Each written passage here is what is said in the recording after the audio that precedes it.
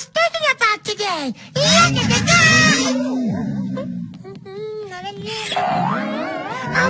guy.